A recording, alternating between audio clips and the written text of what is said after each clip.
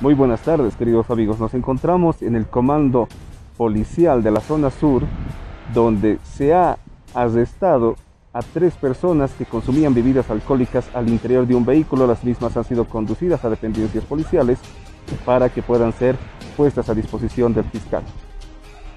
En el reporte para Eco Radio Bolivia, Milton Jay. Eco Noticias. Edición central. Edición central.